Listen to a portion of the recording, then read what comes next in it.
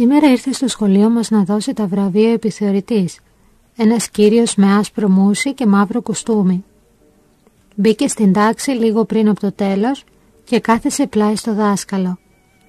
Έκανε ερωτήσεις σε διάφορα παιδιά και τέλος έδωσε το πρώτο βραβείο στον Τερόση.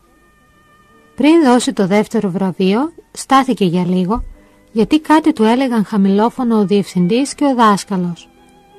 Όλοι αναρωτιόμασταν, σε ποιον θα δώσει το δεύτερο βραβείο; Τότε ο επιθεωρητής είπε «Το δεύτερο βραβείο αξίζει να το πάρει ο Πρεκόση για τη μελέτη που κάνει, για τη συμπεριφορά, για το ωραίο γράψιμο, για όλα αξίζει το δεύτερο βραβείο».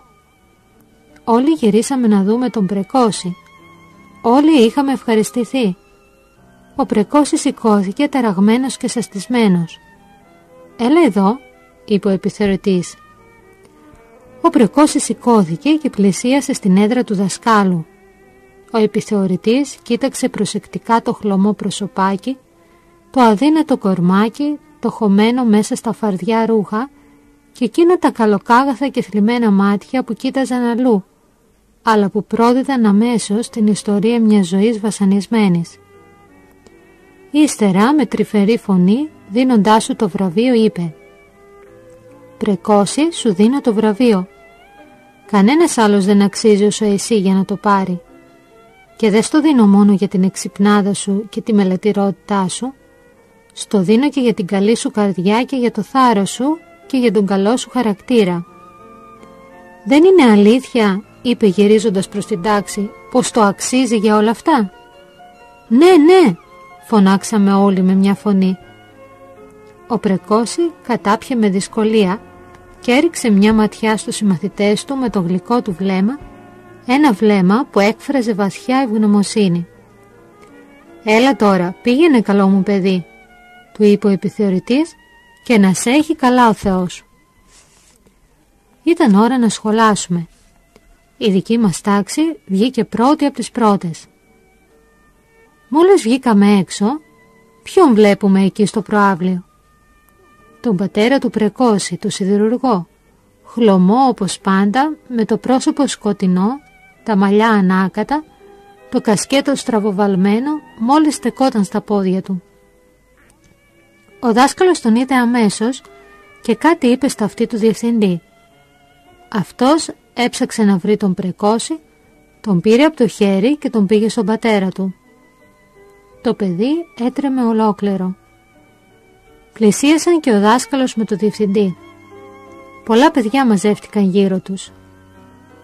«Εσείς είσαστε ο πατέρας αυτού του παιδιού» ρώτησε ο επιθεωρητής με χαροπό ύφος, σαν να ήταν παλιοί φίλοι. Χωρίς να περιμένει απάντηση. «Σας συγχαίρω. Πήρε το δεύτερο βραβείο ανάμεσα σε 54 παιδιά. Το άξιζε για την έκθεση, την αριθμητική, για όλα. Είναι πολύ έξυπνο παιδί και έχει μεγάλο κέφι για γράμματα. Θα προοδεύσει πολύ. Είναι ένα παιδί που το αγαπούν και το εκτιμούν όλοι. Πρέπει να είστε πολύ περήφανος. Ο σιδηρουργός που τα άκουγε όλα αυτά με ανοιχτό το στόμα, κοίταξε στα μάτια τον επιθεωρητή και τον διευθυντή, ύστερα το γιο του που στεκόταν μπροστά του με χαμηλωμένα τα μάτια τρέμοντας. Και σαν να θυμήθηκε σαν να κατάλαβε για πρώτη φορά όλα αυτά που τον έκανε αυτόν τον πιτσιρίκο να τραβήξει και όλη την καλοσύνη, όλη την ανεξάνδρατη υπομονή που ο μικρός είχε δείξει. Τότε ένιωσε ξαφνικά κάποια έκπληξη, ύστερα μια βαθιά θλίψη και τέλος μια βίαιη τρυφερότητα. Με μια γρήγορη κίνηση άρπαξε το παιδί του από το κεφάλι και το έσφιξε στο στήθος. Εμείς περνούσαμε από μπροστά τους. Εγώ τον κάλεσα να έρθει σπίτι την Πέμπτη με τον Καρόνε και τον Κρόση. Άλλα παιδιά τον χαιρετούσαν, άλλος το χάιδευε, άλλος τον άγγιζε τρυφερά. Όλοι κάτι είπαν, κάτι ψιθύρισαν. Και ο πατέρας του μας κοίταζε με έκπληξη, κρατώντας σφιχτά στην αγκαλιά του τον μικρό που έκλαιγε.